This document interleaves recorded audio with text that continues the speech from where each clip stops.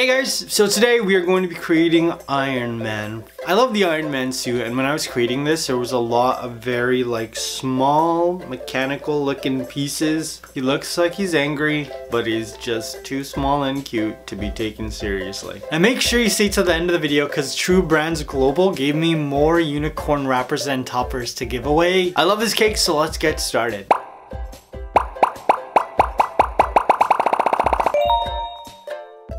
I just got out of the shower. I'm looking fresh. Robert Downey Jr. is sort of like the grandfather of the Marvel Cinematic Universe. He really helped pioneer the whole like movie comic book arena. Him and like Bryan Singer from X-Men. I love X-Men. He worked really hard to create this so I wanted to make sure I did Iron Man justice. First thing I did was draw. I drew out my Iron Man. One of the things I love about Iron Man are all of the suits. The Mark 1, the Mark 2, the Mark 42, the Mark 37, the Mark 337. There's so many, so I decided that I wanted to sort of create my own. The Mark JK. I just took different elements from different Iron Man suits and combined all of my favorite traits. Now to be able to visualize all of the armor, I colored it with some crayons. I don't see that many adults coloring with crayons. I don't see any adults coloring, period. But it's life, you guys. Now to start this cake, I'm using my yellow cake footage. Now I took my cake out of the pan, placed my base shape on top of it, and then cut it out using my sidekick. Yellow cake is so underrated you guys. It's so good, especially if you add cream cheese to the batter. Oh, it's so good. This is from a box. It's pretty good, it's not terrible, and the cream cheese makes it a lot better. Pulled away the excess, took my shape off, and then cut my cake into two equal layers. Now I am looking for a name for my sidekick and I was thinking because it's an Ikea knife I could name it Meatball. The veggie meatballs at Ikea. Oh god their life. You know, there have been a couple times where I go to Ikea just to eat. I don't even really need to buy anything. Cafeterias are life. Do you guys like meatball? I like it, but let me know in the comments. I'm gonna place this onto my cake board and fill the inside of it with some buttercream. My hair looks so neat. I look like I'm going to like my first day of school. Now in the Marvel Cinematic Universe, Iron Man was like the first Avenger. Well, I guess it was supposed to be the Hulk, but then Edward Norton didn't play well with others. So then he got recast and now the Hulk is Mark Ruffalo. Now I placed on my second layer of cake and I just started to carve. I'm just rounding out his head to give it sort of like a faux dome and then defining all of his arms and his limbs. Now growing up I only read the X-Men comics. I never read Iron Man or Captain America or any of the Avengers. I knew of them but my real introduction to them was through the movies. And I think Robert Downey Jr. is always gonna be Iron Man to me. Even when I rewatch all of his older movies like Sherlock Holmes, I'm like, look at this Iron Man walking around like he ain't Iron Man. Get out of here. I don't believe it. He's so iconic in the role. I gave my cake a crumb coat and then I placed it into the fridge to chill. And, and while it was chilling, I was watching this YouTube channel called Bite Shot. So Joanie is the food photographer that runs the YouTube channel Bite Shot. And I've been watching several of her videos trying to figure out how to make this this production thing happen happening behind me, how to make it better. Because I've had some really funky lighting on this set. I've been taking her advice and I even bought the lens that she recommended that I buy. And I wanted to give her a shout out because I just thought her stuff was really helpful.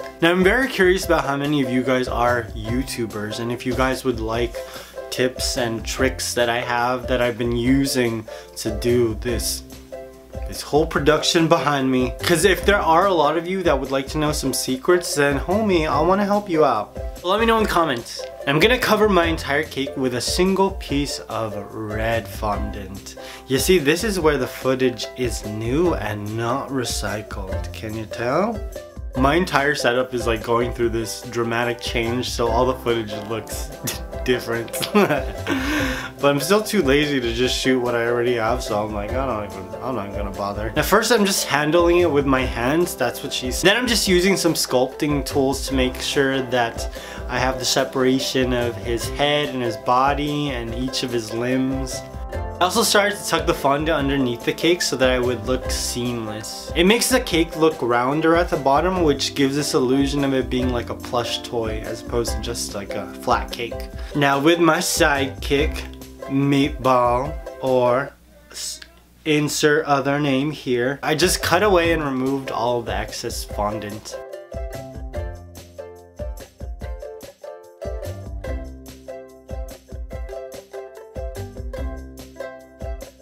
Once I finished covering it with fondant, it was time to start adding all of the armor. The first thing I did was add a chest plate because I wanted to make sure that his chest pops out.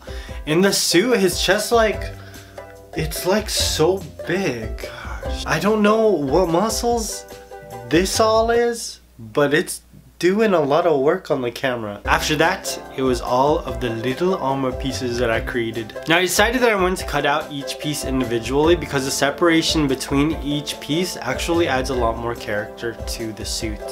I wanted to make sure that I made this as intricate as possible so that's why there's like really really tiny pieces on this cake. Now if you want to recreate this cake for your son or your daughter or your wife she could like this kind of thing too. Your husband would like this also. Maybe you're gonna try and sell it. I don't think that's legal. I think there's copyright issues. But you do what you do and I won't I will look the other way. The government won't though, so be careful. I posted my drawing on my Koalipops Facebook page, so make sure you go over there, you give it a like, and you look at all the tumbleweeds just like rolling through the page. I need another somebody to help me run social media. How do I find that somebody when I don't have any money? now if you are going to recreate this, be prepared. You're gonna have to be very patient. Rolling out all the fondant and cutting out all of these individual pieces took so long. And I don't have any footage of me cutting out each individual piece because I was watching Pirates of the Caribbean while I was doing it. Oh my gosh, the last two installments of that franchise, why were they disasters? There were parts of it I liked, but I just, oh my gosh, as a whole, they were disappointing. Did you like the last two? Please say no. now when you are cutting the smaller pieces, make sure you roll out your fondant probably two hours before you cut it so you get those nice crisp lines. And you're really gonna need these because the armored look has really nice crisp lines.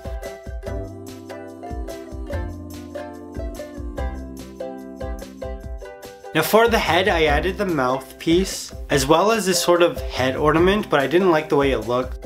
So I took some sculpting tools, outlined it, and then just enhanced the outline with my paring knife.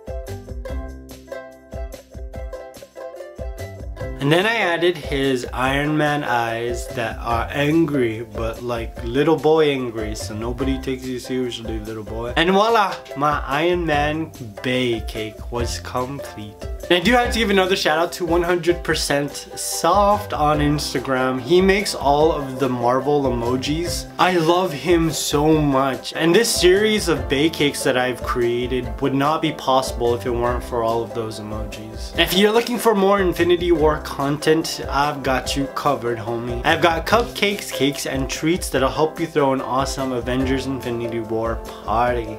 I also have a Bae playlist so you can see all my Bae cakes. I'll link everything at the end of the video and in the description box as well. Now for the giveaway. If you want to win a package of these awesome reversible unicorn wrappers and toppers, comment down below the last pink unicorn. We did the last black unicorn before, so I thought it'd be cool if we switched up the colors. They're so easy to use, you guys, and look. Oh my god, they're so precious. I hope you guys enjoyed this. Make sure you check out Bite Shot and 100% Soft, okay? I love you guys. I will see you very soon. Peace!